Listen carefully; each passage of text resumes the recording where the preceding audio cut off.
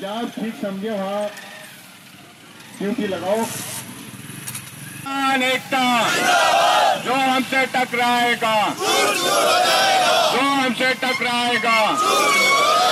किसान एकता जिंदाबाद। किसान एकता जिंदाबाद और जिस सको उससे भिड़ जावे चाहे डीएमओ चाहे एसएसपी चाहे कोई। और रावणपुर गाँव के साथी यहाँ पर हों बैठे रावणपुर के बहुत एक मिनट खड़े हो जाइए जी आप एक मिनट। को दानतपुर से होना जी आप?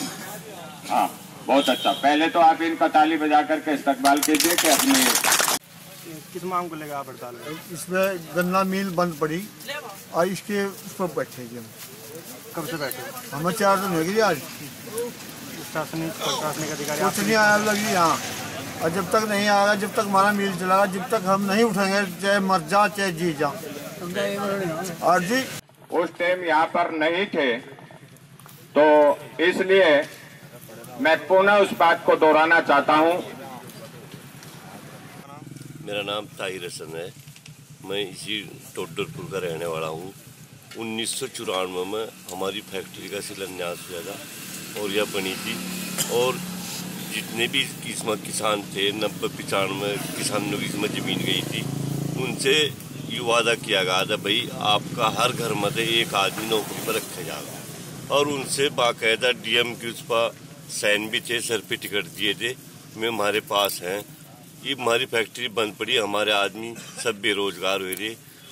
हमें ये हमारा ये कहना है, अगर हमारी फैक्ट्री चले तो तो ठीक नहीं तो हमारी जो ज़मीन गई ही इस फैक्ट्री में हमारे तेईस हज़ार रुपये बीघा हमारी ज़मीन ली थी।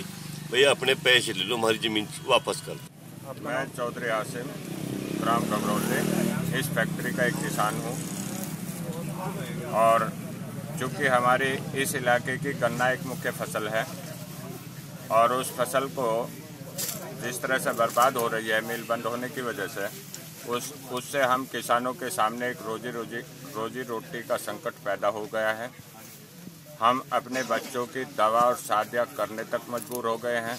इन तमाम हालातों को लेकर के, अपनी मजबूरी को लेकर के हम यहाँ पिछले आज चौथा दिन यहाँ पर है, हमें हड़ताल के लिए।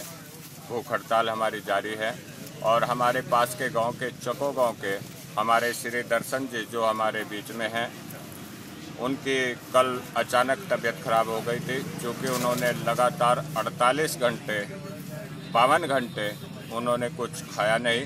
फिर हमारे कुछ जिम्मेदार साथियों ने उन्हें बामुश्किल यहाँ से उठाने का काम किया।